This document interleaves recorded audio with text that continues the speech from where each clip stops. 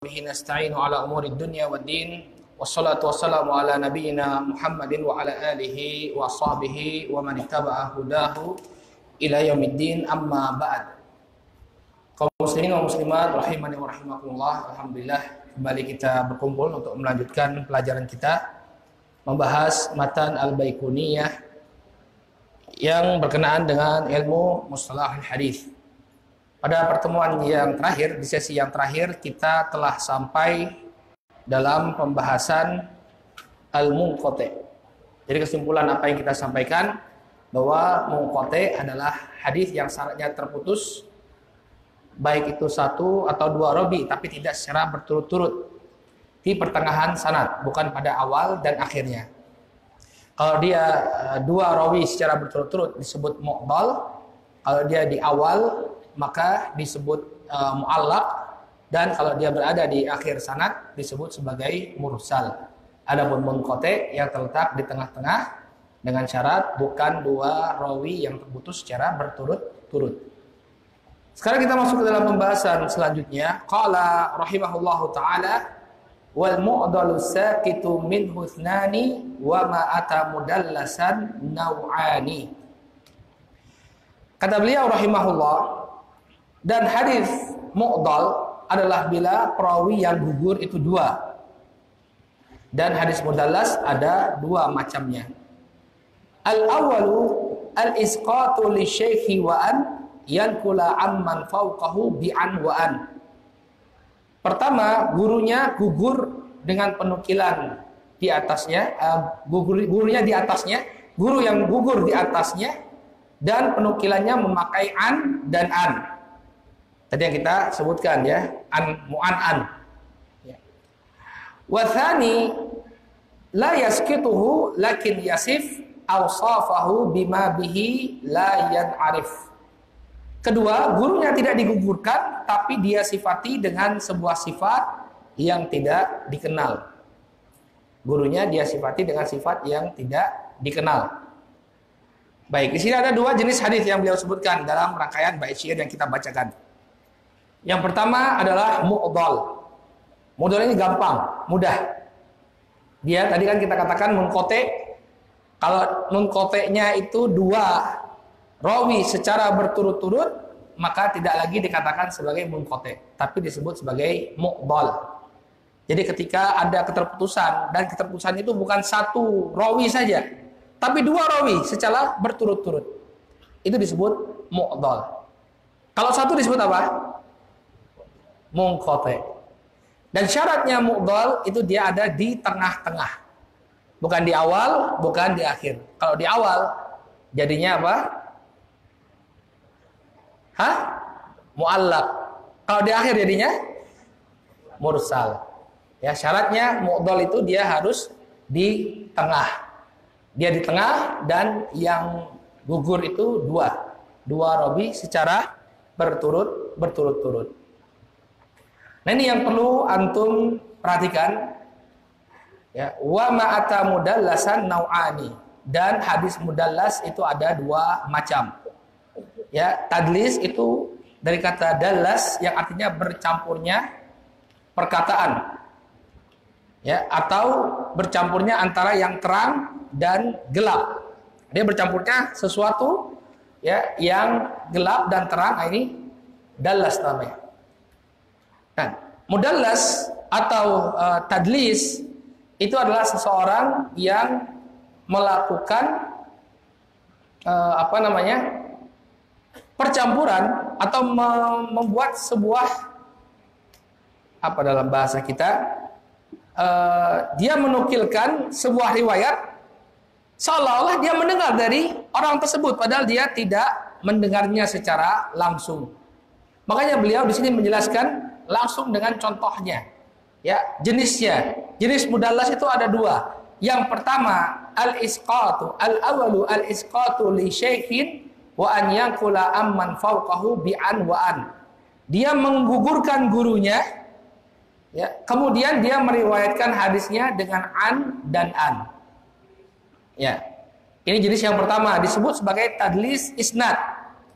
Apa itu tadlis isnad? Seorang rawi dia meriwayatkan suatu riwayat dari seorang guru. Ya.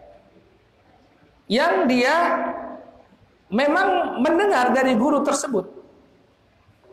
Akan tetapi untuk hadis yang kedua ini dia tidak mendengarnya secara langsung. Ada uh, apa namanya rawi yang memperantarainya kita jelaskan dengan uh, apa bagan insyaallah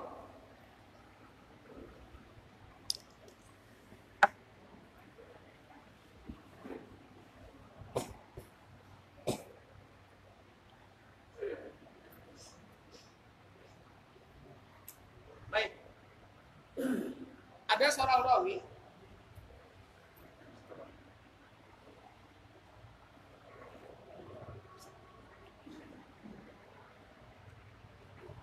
Baik. Ada seorang rawi, katakan namanya A. Si A, rawi A ini mendengar dari gurunya B.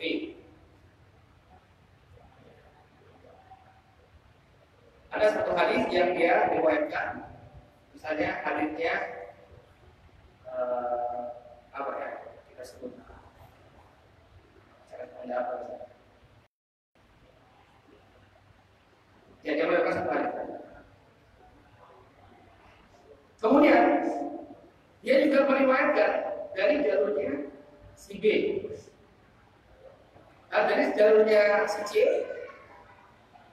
kemudian si C dari si B Baik. Dia punya periwayatan, dia mendengar langsung sebuah hadis dari si B. Ya. Tapi ada satu hadis, hadis yang berbeda. Ini dia tidak mendengar dia langsung dari si B, tapi dia mendengarnya dari C, baru C mendengar dari B. Nah, yang namanya tadris tadris al-isnad dia ya mengosongkan C ini. Seolah-olah hadis ini dia riwayatkan langsung dari B ini bukan nggak ada yang disebutkan dari sanatnya. Ya. sehingga yang harusnya riwayat yang kedua ini riwayat yang pertama ya kita sebut saja riwayat pertama ini riwayat kedua. Baik. Karena di riwayat pertama ini dia dia meriwayatkan dari si B. Ya jelas B itu gurunya dia. Tapi riwayat yang kedua dia tidak mendengar langsung dari si B. Tapi dia mendengarnya dari si C dulu C mendengar dari si B. Tapi si A Ketika menyebutkan hadis, dia tidak menyebutkan nama si C. Langsung dari si B, langsung dari si B. Tapi dia menggunakan lafaz an atau anda. Sehingga kalau ditanya dia, apa kamu benar-benar mendengar dari si B, mendengar hadis yang kedua dari si B? Dia katakan tidak. Kan saya menyebarkannya pakai an, bukan sami itu atau hadadani. Nah inilah yang namanya hadis isnad dia mengumpulkan satu orang rawi yang seolah dia mendengar langsung dari seorang guru yang pernah dia dengarkan. Pada hadis yang pertama betul, dia meriwayatkan hadis tersebut benar-benar dari sini. Tapi pada hadis yang kedua dia mendengar langsung. Dia baru seorang perantara yang suci. Kemudian ada terkesan dia mendengar langsung maka dihapuskan si C, kemudian dia lewatkan dari si B an, ya, kemudian disebutkan nama guru. Paham maksudnya? Ya, ini tadi isnad. Makanya ketika seorang rawi dikenal dikenal bahwa dia uh, adalah seorang mudallis, riwayat dia dengan an itu tidak diterima. Kalau dia meriwayatkan hadis dengan an itu tidak diterima. Kenapa? Ada kemungkinan dia mengosongkan atau mengumpulkan satu rawi yang memperantarai antara dia dengan sang guru. Dan rawi ini kita tidak tahu dia adalah seorang rawi ya yang sahih, rawi sahih atau tidak, rawi yang tiqah ataupun tidak. Makanya berbahaya tadlis. Jika seseorang meriwayatkan hadis dengan an dan dia dikenal sebagai seorang mudallis, maka hadisnya tidak diterima atau hadisnya hadis yang lemah. Karena tadi kekhawatirannya ternyata orang yang menjadi perantara antara dia dengan gurunya sendiri adalah seorang rawi dhaif. Ya, ini namanya tadlis isnad. Paham nggak? Paham ya insya Allah? Ya. Ini yang pertama kata beliau al awalu al isqatu li syekhi wa an yunqalu amman fawqahu bi an wa an. Kemudian dia meriwayatkan dari yang di, yang di atasnya dengan an dan dan an.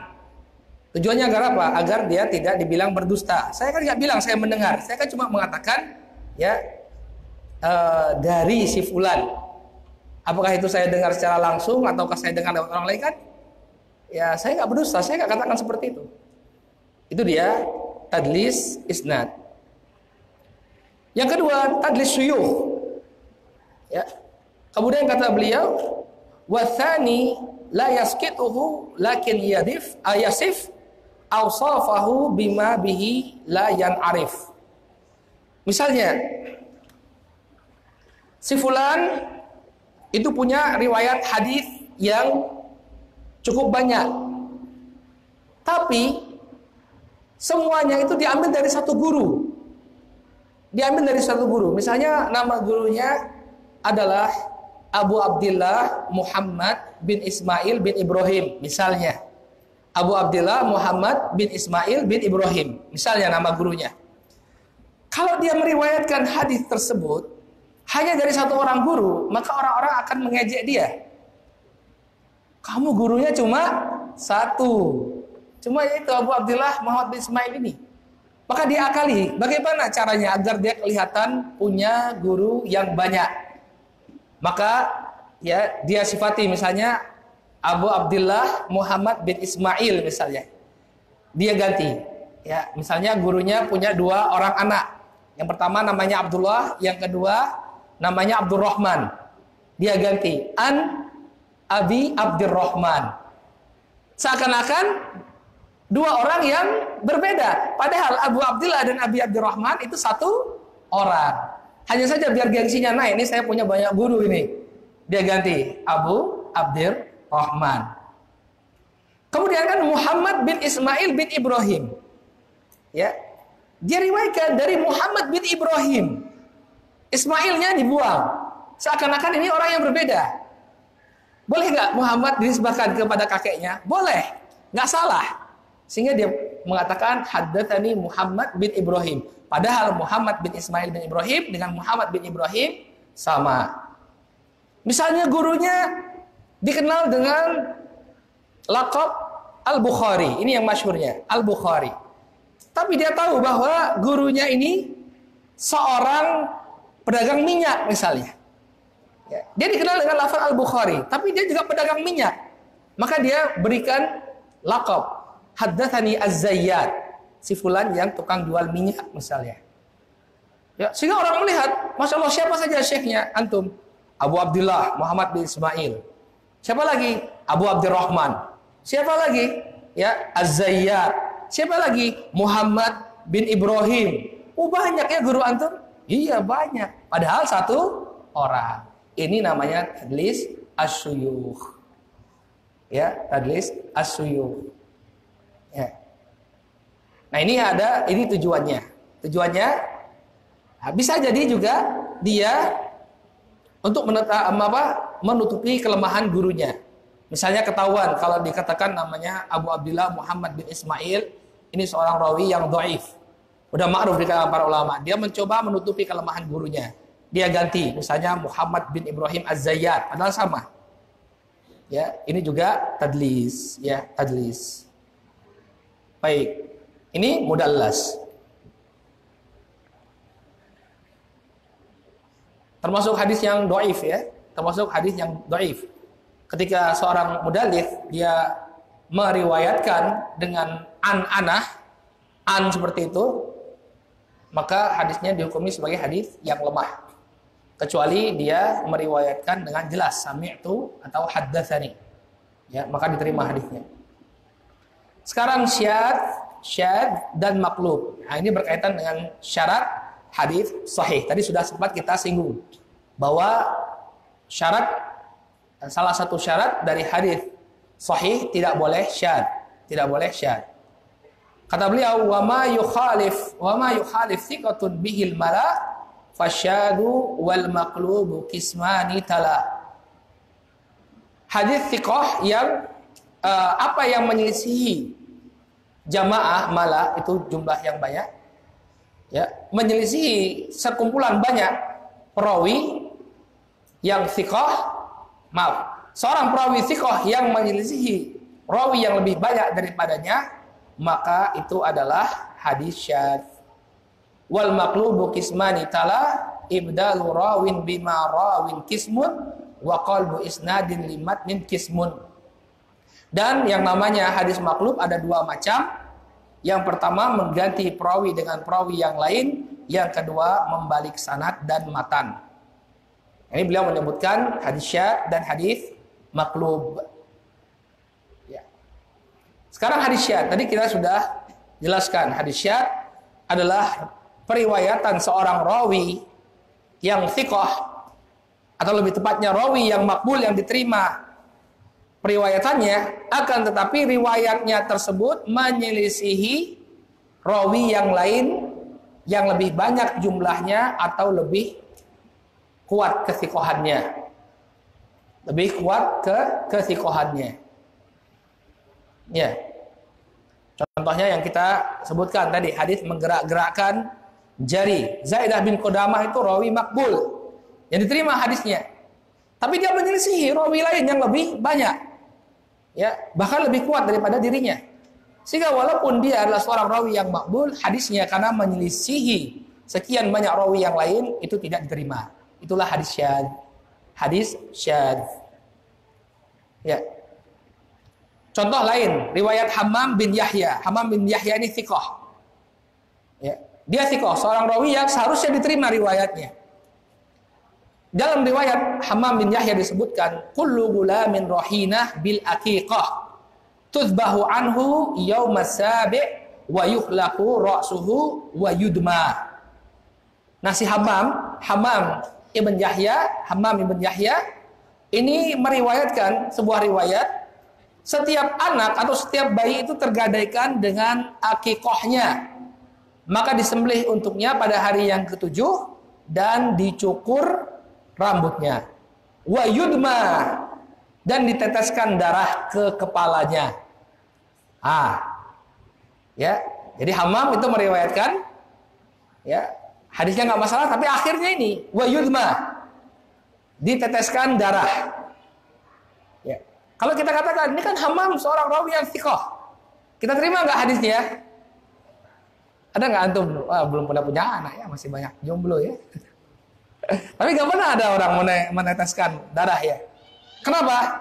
Karena walaupun Hammam bin Yahya ini seorang rawi yang sikoh, dia menyelisihi rawi-rawi lain yang lebih banyak karena rawi yang lain meriwayatkan hadis tersebut dengan lafaz wa yusamma yaitu dia disembelih baginya hewan akikah kemudian dicukur rambutnya dan diberi nama ya riwayat Hammam bahwa yudma yaitu ditetesi darah darah sembelihan ini riwayat yang syad yang ganjil hanya dia sendiri yang meriwayatkan hadis tersebut dan menyelisihi rawi lain yang jauh lebih banyak dan lebih tikoh.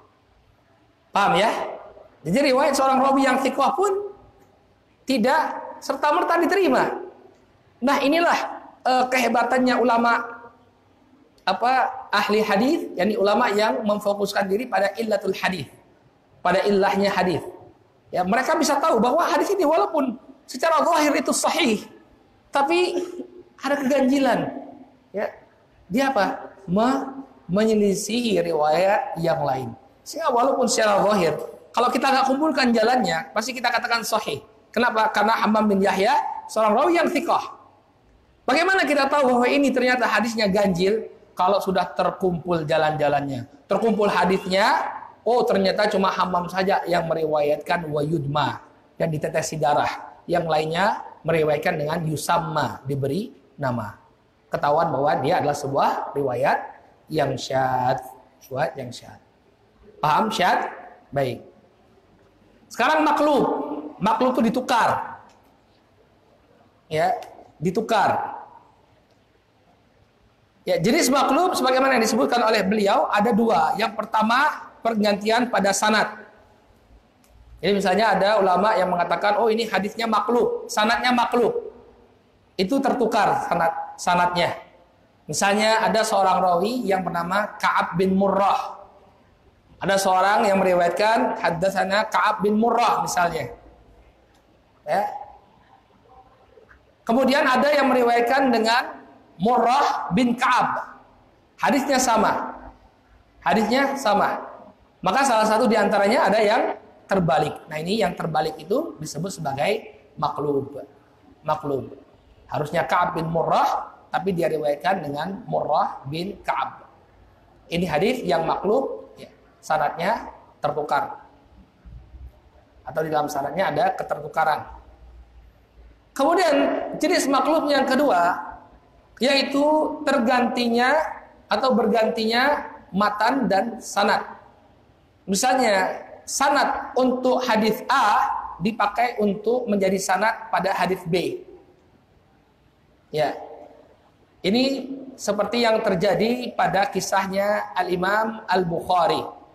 Ketika Al-Imam Al-Bukhari masuk ke kota Baghdad, beliau dites oleh ulama-ulama hadis dari Baghdad. Mengetes bagaimana hafalan beliau. Sehingga ada 10 orang, kalau saya tidak salah ceritanya 10 orang. Masing-masing menyampaikan 10 hadis. Dibacakan sanatnya, kemudian disebutkan hadisnya. Kemudian ditanya Imam Bukhari, tahukah engkau hadis ini? Tidak. Kemudian disebutkan lagi sanatnya, disebutkan lagi hadisnya. Hadis ini tahu nggak? Nggak. Terus sampai 10. Kemudian ganti orang lain lagi. Sampai semuanya selesai, baru Al-Imam Al-Bukhari membalas apa yang mereka sampaikan. Adapun yang kau sampaikan tadi, hadis dengan sanat ini, ini, ini, dengan matan ini, harusnya sanatnya ini ini ini matanya ini. Kemudian yang kedua tadi harusnya sanatnya ini ini, ini hadisnya ini. Lihat berapa puluh hadis itu disampaikan kepada beliau, beliau pasti ingat dan beliau bisa luruskan. Nah ini maklum namanya. Sanat ditukar dengan matan. Sanatnya ditukar dengan matan. Ini maklum. Ya, dan tidak boleh ya menukar sanat dan matan kecuali untuk menguji seperti yang dilakukan oleh para ulama kepada Al-Imam Al-Bukhari. Kepada Al-Imam Al-Bukhari. Baik, selesai kita dari maklum. Sekarang al-fard. Wal fardu ma qayyadahu bi thiqatin au jam'in au qasrin ala riwayatin. Hadis fard itu artinya menyendiri. Fard artinya sendiri apa? Menyendiri. Periwayatan yang diikat dengan satu perawi thiqah oleh banyak perawi thiqah atau dengan pembatasan. Ya, hadis far adalah hadis yang diriwayatkan dengan berkesendirian. Ya. Dan ini terbagi menjadi dua. Yang pertama far al-mutlak. Far al-mutlak. Ya tidaklah hadis tersebut diriwayatkan melainkan hanya dari satu jalur periwayatan. Tidak ada riwayat lain kecuali hanya dari satu jalur tersebut. Ini fard mutlak. Contohnya apa? Riwayat Abdullah bin Dinar dari Ibnu Umar tentang larangan menjual dan menghibahkan wala. Maka riwayat ini ya tidak ada yang meriwayatkannya kecuali Abdullah bin Dinar dari Ibnu Umar dari Rasulullah sallallahu alaihi wasallam. Hanya ada satu riwayat saja. Ini riwayat Al-Fard Kemudian yang kedua fardhu muqayyad. Fardhu muqayyad tadi apa definisinya? Yaitu seorang yang meriwayatkan atau periwayatan yang diikat dengan satu perawi thiqah dengan banyak perawi atau dengan terbatas. Nah ini sebenarnya membutuhkan perincian yang lumayan e, mendetail. Tapi kita ambil satu contoh saja, fard muqayyad dengan satu perawi thiqah. Ya. Yaitu hadis Umar bin Khattab radhiyallahu anhu yang bertanya kepada Abu Waqid Al-Laitsi radhiyallahu anhu tentang surat yang dibaca oleh Rasul sallallahu alaihi wasallam dalam salat Idul Adha dan salat Idul Fitr. Maka uh, Abu Waqid Al-Laitsi menjawab, "Kana yaqra'u fihima biqaf wal Qur'anil Majid wa sa'ah wa syaqqal qamar." Dari dahulu Nabi Shallallahu Alaihi Wasallam membaca pada sholat uh, Idul Adha dan Idul Fitri dengan surat Qaf dan surat Al-Qamar. Ya. Nah disebutkan oleh Al-Hafidh Al-Iraqi bahwa hadis ini datang dari riwayat Damrah, Damrah bin Sa'id Al-Mazini dari Abdullah bin Abdullah bin Abi Waqid Al-Laitsi dari Nabi Shallallahu alaihi wasallam. Dan hadis ini tidak ada rawi thiqah yang meriwayatkannya selain Damrah, selain Damrah. Jadi dia ada riwayat yang lain, tapi satu-satunya rawi thiqah yang meriwayatkannya adalah riwayatnya Damrah bin Sa'id. Adapun yang lainnya tidak tidak ada rawi thiqah yang meriwayatkannya. Apa bedanya dengan fardu mutlak? Fardu mutlak itu tidak ada yang lain yang meriwayatkan. Cuma satu itu saja. Ya, cuma satu itu saja yang meriwayatkan. Sedangkan fardu muqayyad banyak yang meriwayatkan, tapi yang thiqah cuma riwayatnya Dhamrah bin Sa'id ya, Al-Mazini. Ini perbedaan antara fardu mutlak dengan fard muqayyad. Ya. Ini hadis fard Misalnya dikatakan misalnya tafarrada bihi fulan. Si fulan telah bertafarrud dalam hadis ini. Artinya dia sendiri yang meriwayatkan. Kalau dikatakan di sini fard muqayyad itu tidak ada lagi rawi yang thiqah selain dia yang meriwayatkannya. Misalnya jamaah, bagaimana jamaah? Ya, tadi kan dikatakan oleh al-imam ya, au jam'in atau dikaitkan dengan jamaah. Misalnya tidak ada yang meriwayatkan hadis ini kecuali penduduk kota Madinah. Artinya rawi yang dari Kufah, rawi yang dari eh, tempat-tempat uh, yang lain tidak ada yang meriwayatkan hadis itu, cuma ahli Madinah saja. Ya. Ini adalah uh, apa? contoh dari al-fard muqayyad. Paham bedanya ya? Kalau fard mutlak itu tidak ada lagi yang meriwayatkan kecuali hanya dia. Tapi fard muqayyad ada yang meriwayatkan beberapa Cuma dia dibatasi. Pertama, kesikohan misalnya. Ya, kesikohannya.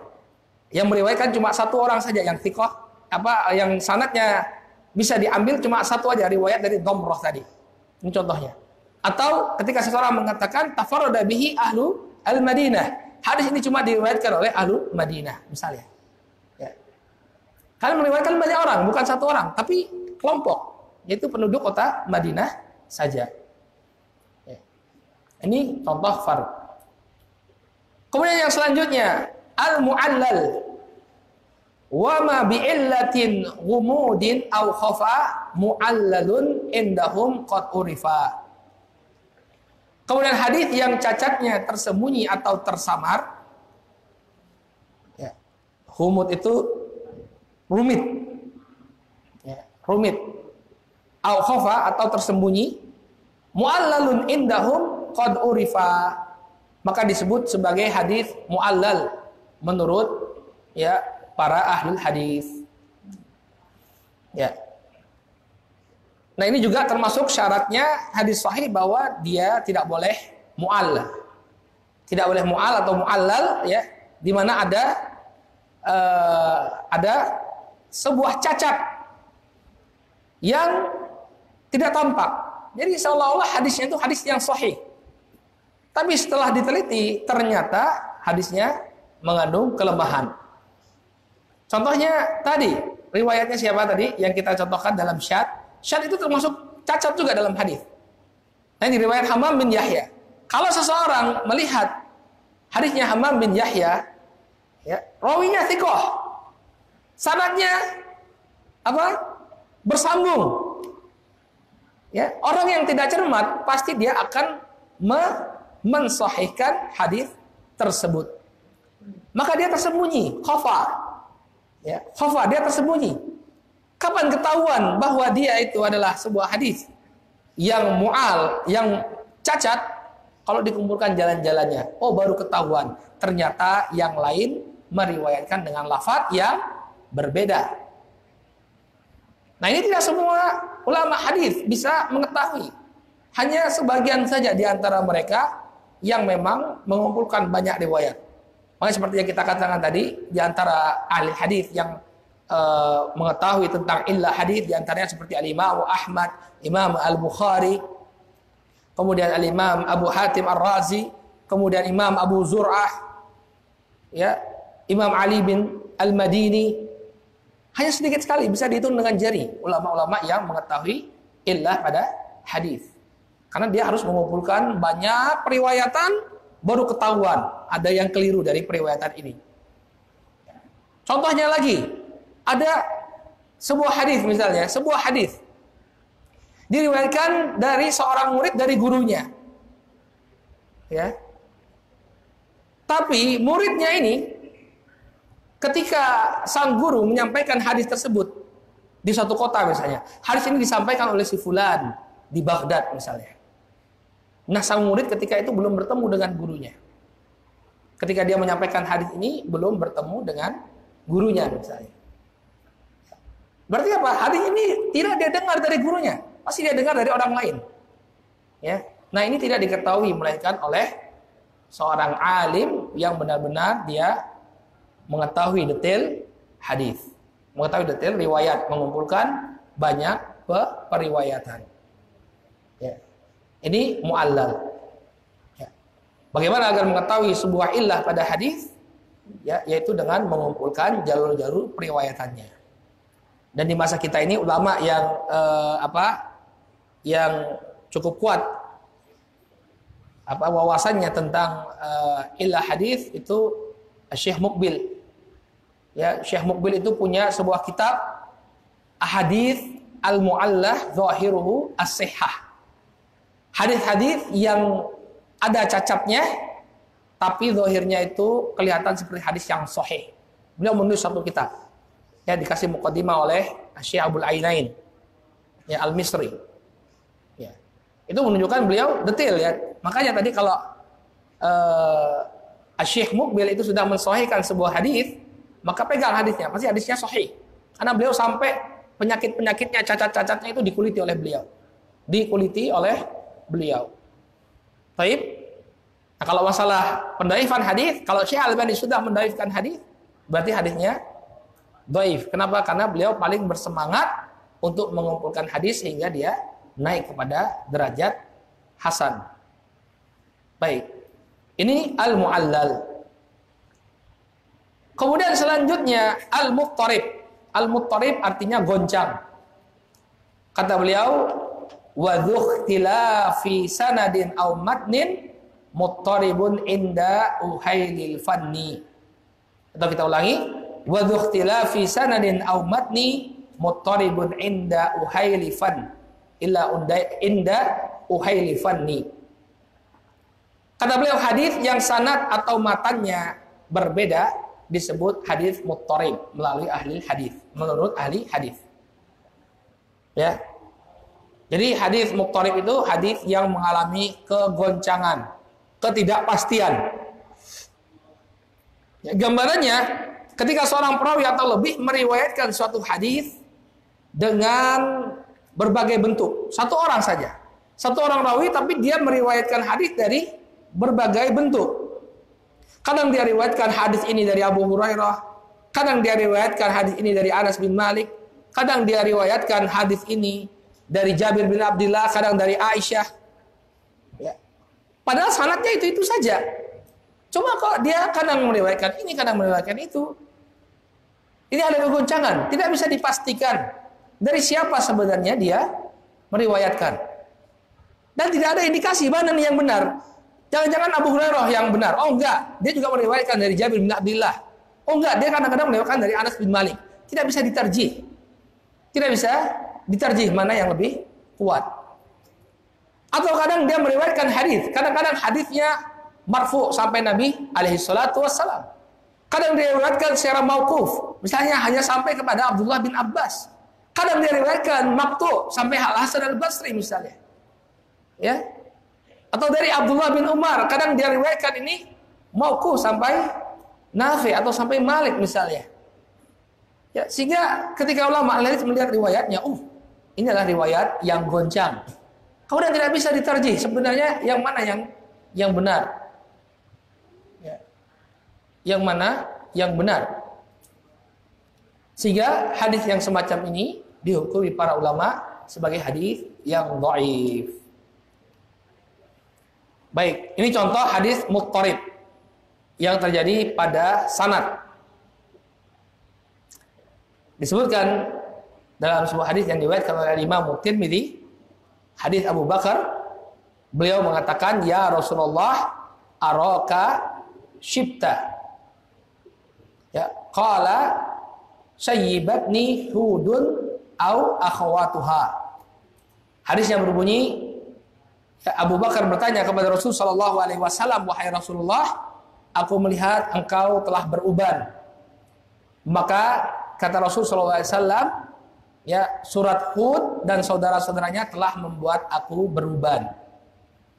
Nah, lima Mendarukutni menyebutkan bahwa hadis ini adalah hadis yang muttarib. Kenapa? Karena diriwayatkan dari Abu Ishaq dan terdapat 10 periwayatan yang berbeda dari dirinya. Sebagiannya meriwayatkan secara mursal. Ya. Secara mursal. Ada seorang tabi'i membawa hadis ini kepada Rasul Shallallahu alaihi wasallam. Ada yang membawanya secara bersambung seperti apa yang kita sampaikan dari Abu Bakar dari Rasul Shallallahu alaihi wasallam. Ada yang menyampaikan ya riwayatnya semuanya satu dari Abu Ishaq, tapi selalu setelahnya itu ya atau lebih sebelumnya ada yang sampai kepada Abu Bakar. Artinya perawi hadisnya itu adalah Abu Bakar. Ada menyampaikan hadis ini dari Aisyah radhiyallahu anha. Yang menyampaikan hadis ini dari Sa'ad bin Abi Waqqas. Padahal jalurnya sama. Harusnya kan sama ujungnya. Tapi ini beda jalur apa? Beda ujungnya. Ada yang ujungnya Abu Bakar, ada yang ujungnya Aisyah, ada yang ujungnya Sa'ad bin Abi Waqqas. Bahkan ada yang mursal hanya sampai kepada tabi'i, ada yang sampai kepada Nabi alaihi salatu wassalam. Maka yang seperti ini disebutkan oleh Imam Daruqutni bahwa hadisnya muttarib. Hadisnya goncang, tidak tahu kita yang mana yang benar. Ya, tidak bisa kemudian dikuatkan salah satu dari jalan-jalan tersebut. Tidak bisa kemudian pilih ya sudah, katakan bahwa ini jalurnya dari Abu Bakar. Dan terus jalurnya dari Aisyah dari saat bagaimana? Padahal jalurnya sama. Jalurnya sama. Tidak bisa dilakukan tarjih pada jalur tersebut. Sehingga ya dihukumi para ulama sebagai hadis yang muttarib, yang goncang, tidak bisa dikuatkan mana yang benar. Ini pada sanad. Kemudian ada juga muttarib pada matan. Contohnya hadis muttarib pada matan adalah hadis yang diriwayatkan oleh Imam Tirmidzi dari Syarik dari Abu Hamzah dari Sya'bi dari Fatimah bintu Qais beliau mengatakan ya suila Rasul sallallahu alaihi wasallam 'ani zakah faqala inna fil mali la haqqan siwa zakah Kata Nabi alaihi salatu wasallam, eh, Nabi SAW bertanya tentang zakat, maka kemudian beliau mengatakan, sesungguhnya pada harta itu ada hak orang lain selain zakat. Artinya selain zakat, kita hendaknya mengeluarkan dari harta kita. Ya. Sementara pada riwayat Ibnu Majah sama jalannya, Nabi SAW mengatakan laisa fil mali hakun siwa zakah. Ya. Pada riwayat Ibnu Majah dikatakan tidak ada sesuatu hak pada harta tersebut selain zakat. Ini kan satu hal yang kontradiksi. Ya, yang pertama mengatakan bahwa selain zakat itu ada. Selain zakat itu ada hak lain yang harus kita keluarkan. Sementara riwayat yang lain sama ini, jalurnya sama. Ya, tapi mengatakan bahwa laisa fil mali hakun siwa zakat. Tidak ada hak pada harta itu kecuali hanya zakat saja. Bisa digabungkan enggak? Enggak bisa. Ya, karena ini suatu hal yang sangat kontradiktif. Satunya bilang ada, satunya bilang tidak ada. Ada dan tidak ada bisa digabung enggak? Separuh ada, nggak bisa. Harus dipilih salah satu. Ada dan tidak ada. Ada atau tidak ada. Oleh karena itu, karena tidak bisa dijamak, tidak bisa dikumpulkan, maka diputuskanlah bahwa hadis ini adalah hadis yang muttorib, yang goncang. Ya, karena tidak bisa dilakukan terjih. Kalau bisa dilakukan terjih, ya hilang dia, diambil yang kuat. Tapi karena sama-sama kuat, maka tidak bisa dikuatkan salah satunya, maka dia adalah hadis yang muttorib, hadis yang goncang. Ya, ini termasuk hadis yang dhaif. Nanti akan temukan uh, apa penghukuman hadis sebagai hadis yang mutarib dari sebagian para ulama. Kemudian jenis yang ke-26 hadis mudraj. Kata beliau rahimahullahu taala wal mudrajatu fil hadis ma atat min ba'di alfadir ruwati tasalat. Hadis mudraj. Mudraj itu artinya sisipan. Sisipan Hadis mudraj kata beliau, wal mudrajat, ya, hadis-hadis yang mudraj adalah apa yang datang dari sebagian lafat, dari sebagian lafadznya perawi ittasalat, ya, yang dia bersambung atau bergabung. Maksudnya apa? Hadis itu kemasukan sesuatu yang merupakan tambahan dari rawi seolah-olah dia merupakan bagian dari hadis tersebut. Ini mudraj. Ya. Jadi dia sebenarnya bukan bagian dari hadis. Ini adalah ucapan perawi. Tapi dianggap sebagai apa? E, bagian dari hadis. Contohnya disebutkan dalam hadis, ya, asbihul wudu'a wailul lil aqabi minan nar. Dalam sebuah hadis disebutkan, sempurnakanlah wudu. Celaka bagi tumit-tumit yang tidak terkena air, ya, dia akan mendapatkan neraka. Dia akan mendapatkan neraka. Kalau kita nggak paham, semua apa yang kita sampaikan di sini kita akan pandang sebagai ucapannya Rasul Shallallahu Alaihi Wasallam. Karena nyambung ya. Sempurnakanlah wudhu. Karena kalau tumit itu nggak kena air, ya siap-siap untuk diadab di api neraka. Kita melihatnya sebagai satu kesatuan. Tapi ternyata ikhwan fiddin rahimani wa rahimakumullah setelah diteliti ternyata ucapan asbigil wudu asbigul wudu ini adalah ucapannya Abu Hurairah radhiyallahu anhu. Berarti ucapan Nabi yang mana? Wailul lil aqabi minan nar. Ini saja yang merupakan ucapan Nabi SAW. Nah, tambahan dari asbigul wudu, ucapannya Abu Hurairah yang dikira merupakan bagian dari hadis, inilah disebut sebagai mudraj. Makanya nanti antum belajar ya, hadis ini ada dimasukkan dalam Umdatul Ahkam. Bagi yang belajar Umdatul Ahkam, nanti ketahuan ini biasanya ada di dalam syarah dikatakan bahwa asbigul wudu ini ucapannya Abu Hurairah. Jadi bukan dipahami sebagai hadisnya Rasul Shallallahu Alaihi Wasallam. Ya. Kemudian dalam Sahih Bukhari juga ada mudraj. Kalau saya tidak salah mudrajnya itu dari Az-Zuhri, salah seorang perawi hadis. Ya, uh, Az-Zuhri ketika hadis Aisyah, ketika Aisyah menyebutkan bahwa sebelum menerima wahyu Nabi Shallallahu Alaihi Wasallam itu menyebutkan uh, beliau suka bertahanut. Kemudian dalam hadisnya disebut ai ta'abbud yaitu beribadah. Ta'abbud ini bukan ucapan Aisyah tapi mudraj dari Az-Zuhri. Ya, dari Az-Zuhri. Az-Zuhri menyelipkan untuk menjelaskan apa makna tahanut tadi. Tahanut ai ta'abbud tapi seolah-olah masuk dalam hadis, seolah-olah itu merupakan bagian dari apa yang disampaikan oleh Aisyah radhiyallahu anha. Jadi seorang harus tahu mana yang sabda Rasul Shallallahu Alaihi Wasallam, mana yang bukan. Ya, ini al mudraj. Waktu mau habis mulai ya, pasang gigi agak cepat. Coba selesai, ini slide ke-49. Masih ada 10 slide lagi. Kemudian yang ke-27 Al-Mudabbaj. Al-Mudabbaj. Kata beliau, "Wa ma rawa kullu qarinin an akhi mudabbajun fa'rifhu haqqan wantakhi." Setiap hadis yang diriwayatkan oleh qarin dari saudaranya adalah hadis mudabbaj. Maka ketahuilah dengan baik.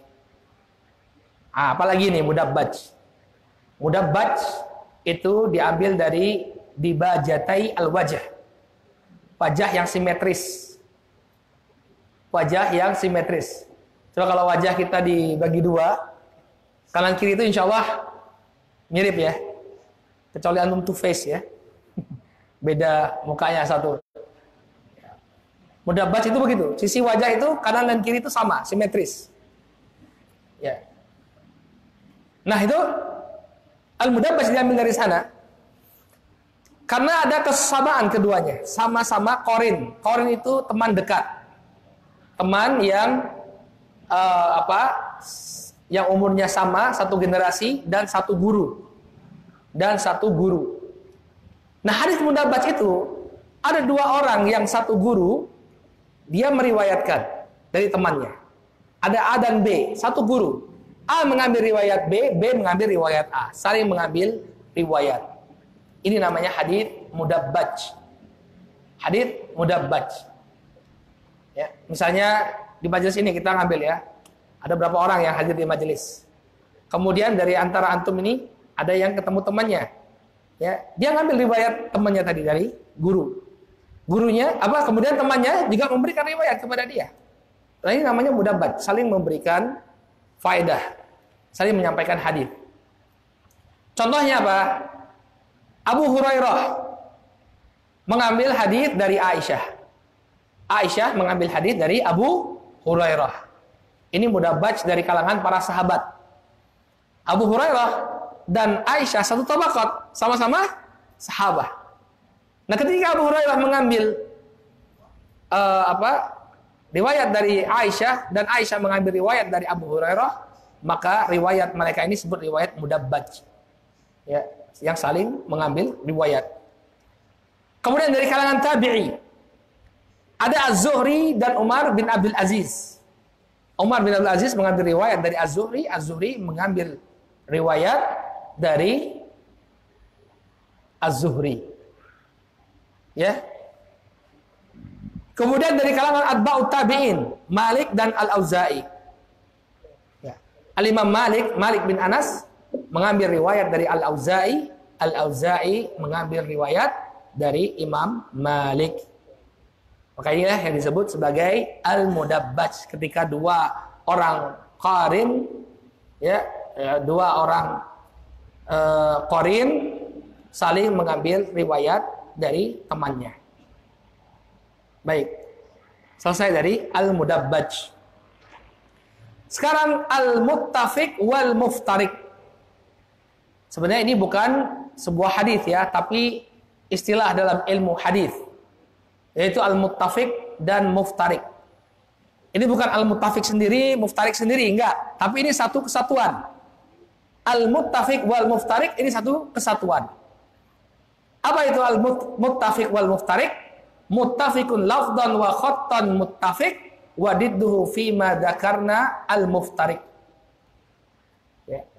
Yang disebut dengan muttafiq dan muftarik adalah suatu lafat dan khatnya uh, penulisan nama rawi dengan lafat dan penulisan yang sama maka disebut muttafiq.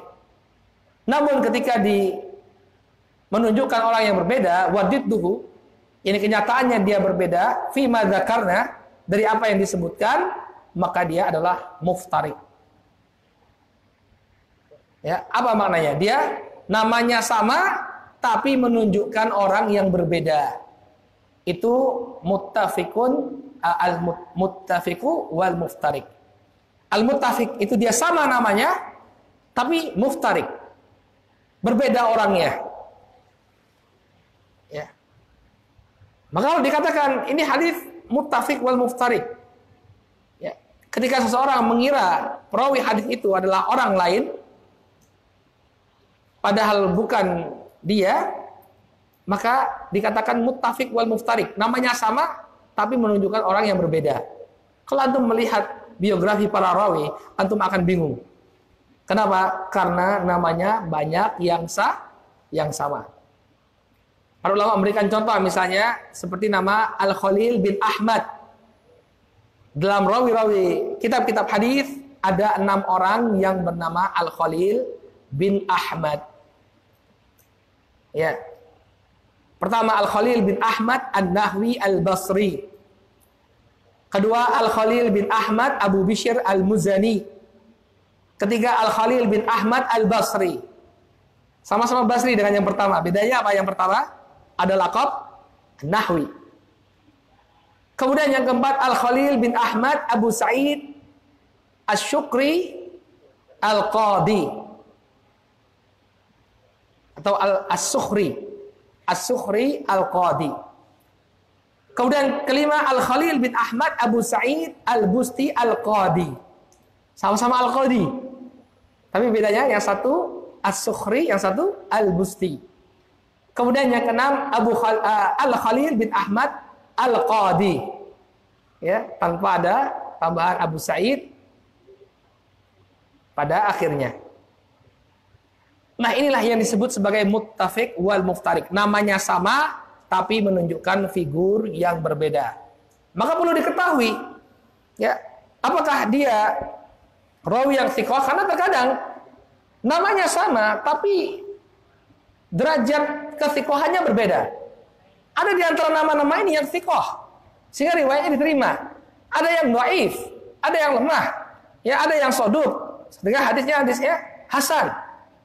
Ya, sehingga perlu kejelian di antara para ahli hadis untuk mengetahui si fulan ini siapa. Maka ini bisa diketahui dari tobakohnya. Misalnya, ya, misalnya si fulan yang bernama ini bernama Al Khalil bin Ahmad. Ini contoh saja. Ya, yang merupakan generasi tabi'i adalah Al Khalil bin Ahwad Abil Ahmad Al Basri misalnya. Maka Al Khalil bin Ahmad Al Basri ini dia thiqah. Ada juga Al-Khalid bin Ahmad Al-Basri yang tabi'ut tabi'in misalnya. Dia lemah hafalannya.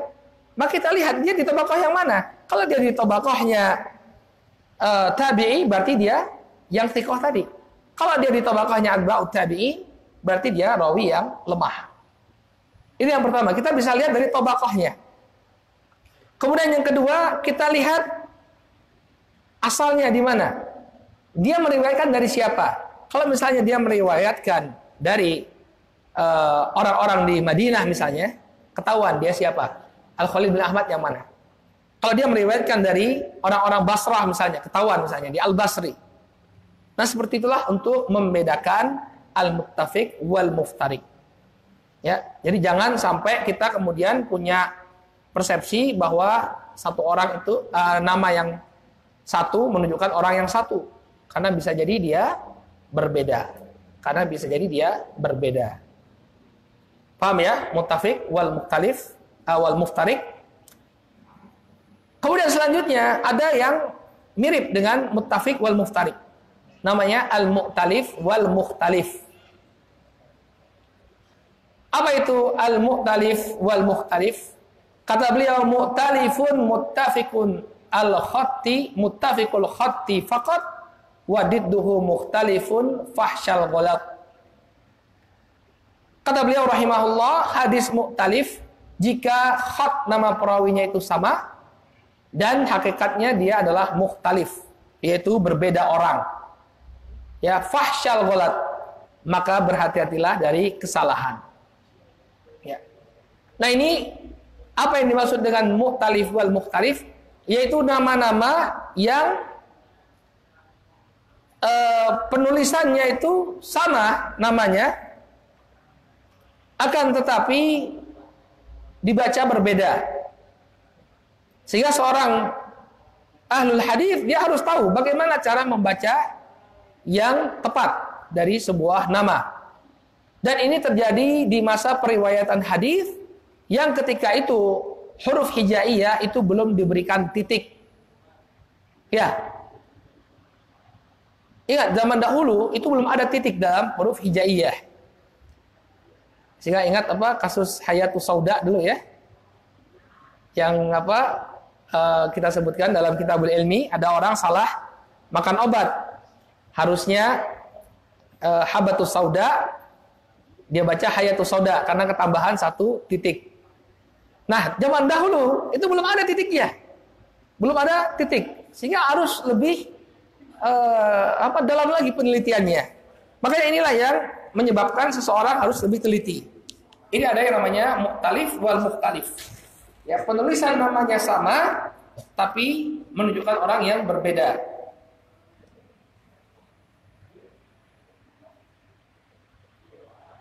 Contohnya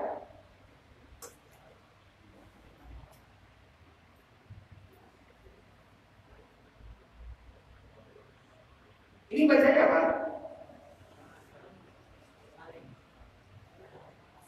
Hah? Salam.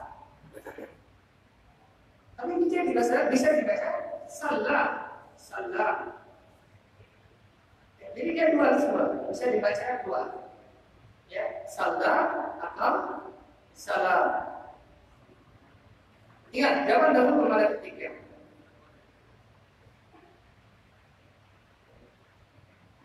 Bacanya apa? Abbas. Ahsan. Abbas. Juga orang yang bernama Abbas. Kalau tambah ketiknya, Ayas. Ada orang yang bernama Ayas. Nah ini yang disebut mukhtalif buat mukhtalif. Sama penulisan namanya, tapi berbeda bacaannya. Bedanya apa mutafik? Kalau mutafik sama bacaannya. Ya, Al Khalid, Al Khalid, Al Khalid bin Ahmad. Kalau ini enggak. Maka ini disebut sebagai mutalif wal mukhtalif. Harus ada kecermatan di dalam uh, membaca nama uh, rawi.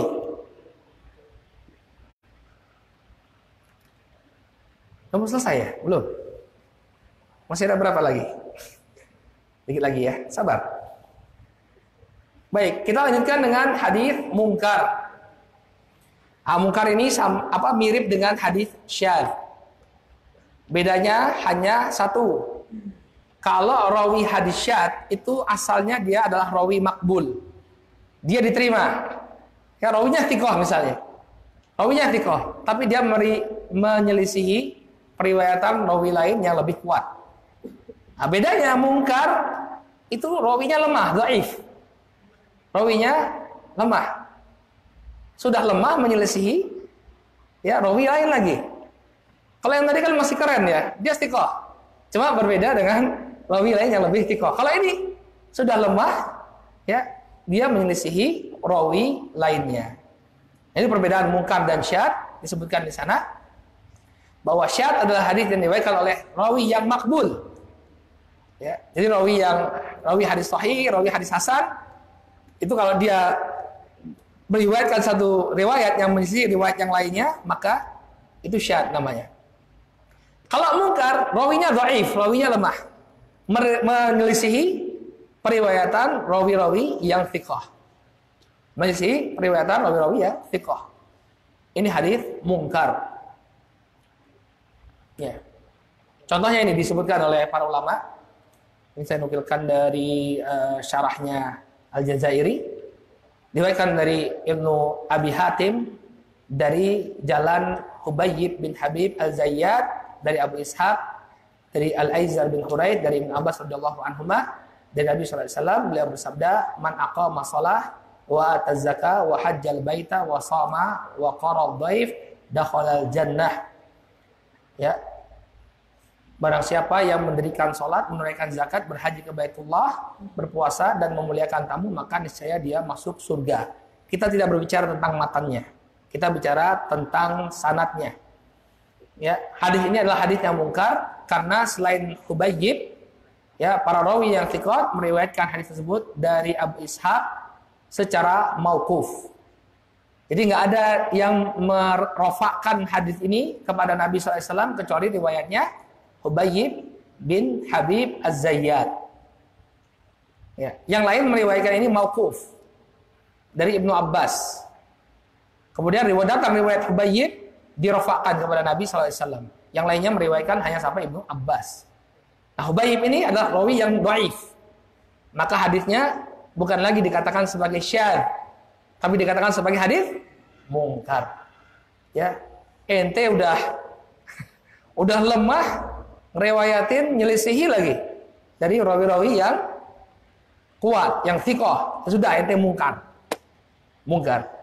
Paham ya bedanya dengan syad. Kalau syad itu dia masih tikoh dia. Ya, orang tikoh tapi riwayatnya berbeda dengan yang lain. Itu syad, ganjil. Tapi kalau sudah lemah, riwayatkan berbeda, mungkar. Ya, mungkar. Makanya kalau ada uh, ustadz misalnya ada ustadz memiliki pendapat yang berbeda dengan apa kebanyakan dai-dai dikatakan ini syad ini. Ustadznya syad, ganjil. Tapi kalau bukan ustadz punya pendapat yang nyeleneh, mungkar. Eh, antum mungkar ini. ya. Baik kemudian, masya Allah udah berakhir ya. Al matruk, al matruk. Matrukuhu ma wahidun bihin farad, ya, wa ajma'u li dha'fihi fahuwa qarad. Hadis matruk adalah hadis yang diriwayatkan secara menyendiri oleh seorang rawi yang para ulama sepakat kedoifannya. Ini lebih parah lagi. Para ulama sepakat dengan kedoifannya.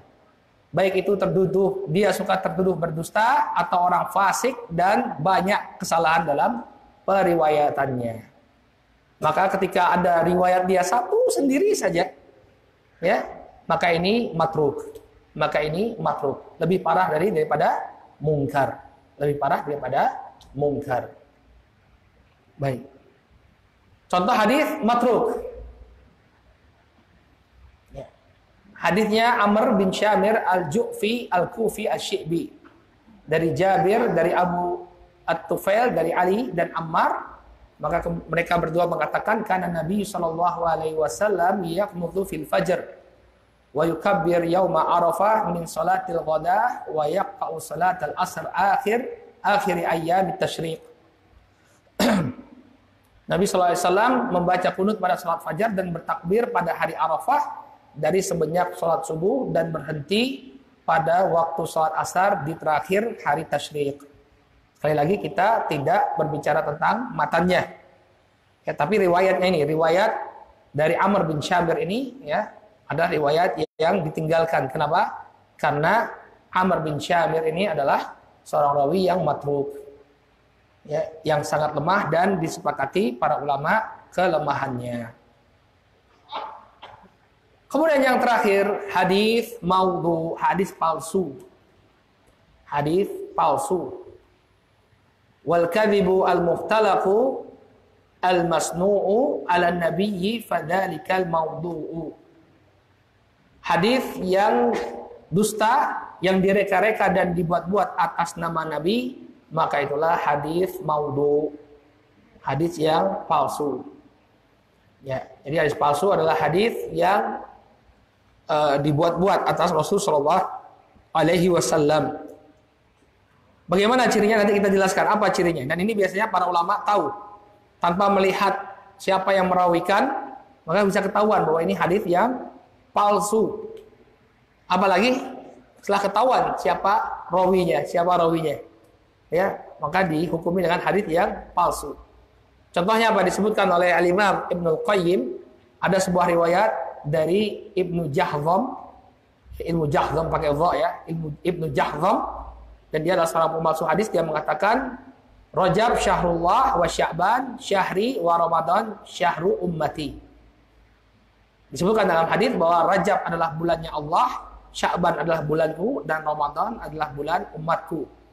Maka Ibnu Jahzam ini adalah seorang pemalsu hadis. Seorang pemalsu hadis.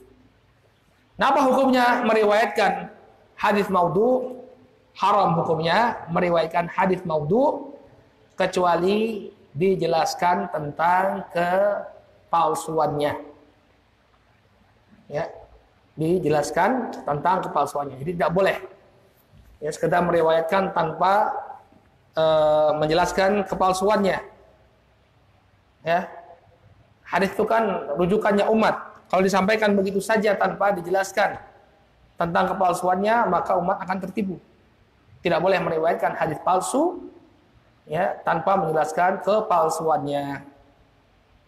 Ada pun ciri hadis palsu yang pertama kejanggalan lafaz.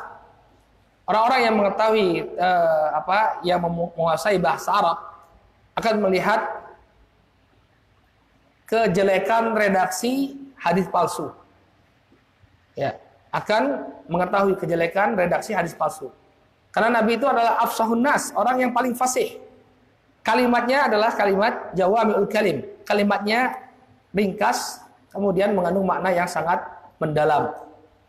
Makanya kalau ada hadis mengatakan uh, tentang keutamaan Ramadan, itu pernah dengar gak? Saya pernah dengar penceramah itu. Ya, kultum lama sekali hampir ya setengah jam lebih. Dia bacakan sebuah hadis Rasul mengatakan, pada hari pertama hambaku akan dibebaskan. Hari kedua, hari ketiga, hari keempat, panjang sekali. Ini hadis riwayat siapa? Pernah dengar? Ya.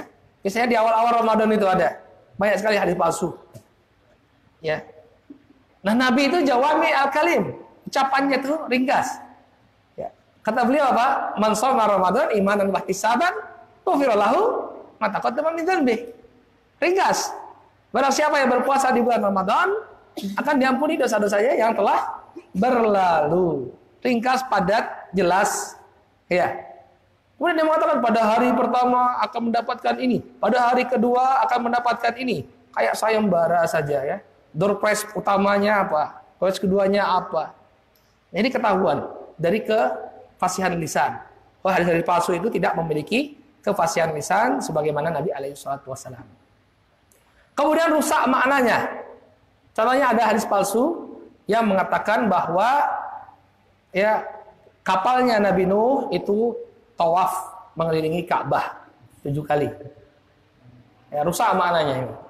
Kapal kok tawaf. Sehingga bisa ketahuan bahwa ini adalah hadis yang palsu.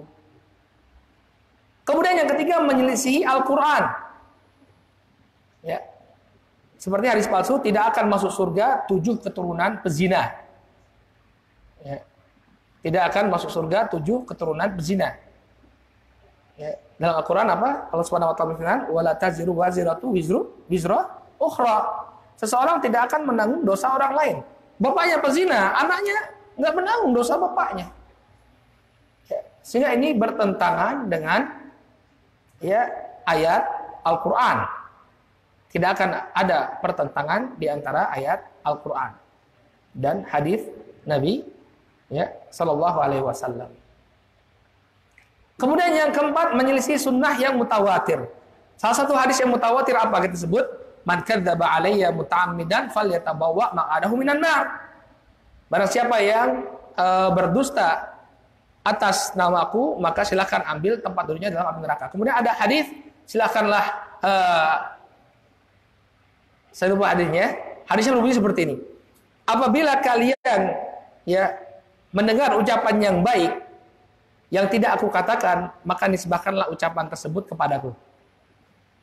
Kalau ada ucapan yang baik, nggak apa-apa dinisbahkan kepada Nabi SAW. Ada hadis palsu yang berbunyi seperti itu. Maka ini bertentangan dengan sunnah yang sudah mutawatir. Ya berdusta atas nama Nabi SAW, silahkan ambil tempat duduk anda di neraka. Maka tertolak hadis seperti ini ya ketahuan bahwa dia adalah hadis yang palsu. Kemudian menyelisih kaidah umum dari Al-Quran dan Sunnah. Seperti sebuah hadis palsu yang berbunyi, barang siapa yang memberi nama anaknya Muhammad, maka dia dan anaknya akan masuk ke dalam surga. Siapa yang namanya Muhammad? ya, ya Muhammad. Nur Muhammad masuk surga. Ya nggak bisa orang hanya karena nama kemudian masuk ke dalam surga. Maka ini menyisi kaidah dari Al-Quran dan Sunnah. Ini adalah beberapa ciri dari hadis maudhu. Pertama kejanggalan lafadznya, kemudian rusaknya makna, kemudian menyisi Al-Quran, kemudian menyisi Sunnah yang mutawatir, dan menyisi kaidah umum dari Al-Quran dan Sunnah. Kemudian beliau mengatakan, waqad atat kal jauharil maknuni samaituha manzumatal bayquni. Fauqa thalathina fauqa salatina bi arba'in atat aksamuha tammat bi khairin khutimat. Kata beliau, sungguh nazam ini seperti mutiara yang tersimpan dan aku namakan Manzuma Al-Baikuniyah.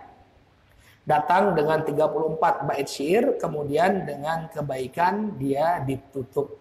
Ya beliau mengharapkan agar apa yang beliau sampaikan dari Manzumah ini benar-benar bermanfaat. Dan doa beliau dikabulkan oleh Allah subhanahu wa ta'ala. Masya Allah sampai sekarang ya mahasiswa UI belajar Manzumah Al-Baikuniyah dan kampus-kampus lainnya ya banyak dari yang bukan dari UI juga Sampai sekarang kita masih mendapatkan faedah dari apa yang beliau sampaikan.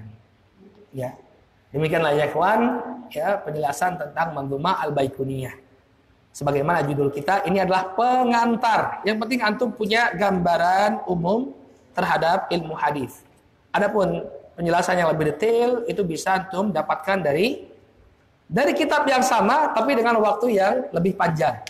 Misalnya kita buka kajian Manduma Al-Baikuniyah. Setiap kali pertemuan satu hadis atau satu bait syair misalnya. Ya tentu akan lebih luas penjelasannya. Ada khilaf-khilaf di kalangan para ulama. Atau dengan mempelajari kitab lain. Kitab lain. Seperti yang uh, apa? Uh, ditulis oleh Al-Imam Suyuti, tadi Burawi atau Alfiyah Al-Iraqi dan yang semisalnya atau kitab uh, apa Nushatul Nazar karya Al-Hafidh Ibnu Hajar Al-Asqalani dan kitab-kitab yang lainnya. Masih banyak kitab-kitab yang bisa kita pelajari dalam mustalahul hadis. Hanya saja ini sebagai pengantar agar antum punya uh, pengetahuan secara umum tentang ilmu mustalahul hadis. Ya, ini rujukan yang kita pakai dalam penyusunan modul ya syarah manzumah baikunnya karya Abu Hanif Al-Jazairi, kemudian At-Ta'liqat Al-Athariyah dari Syekh Ali Hasan Al-Halabi, Taisir Mustalahul Hadis karya Syekh Dr. Mahmud Tohan dan syarah manzumah Al-Baikuniyah ini cuma sedikit ngambilnya ya karya Syekh Muhammad bin Saleh Al-Utsaimin rahimahumullah wa hafizahumullah. Baik, nasib ilahuna kita cukupkan dulu sampai di sini.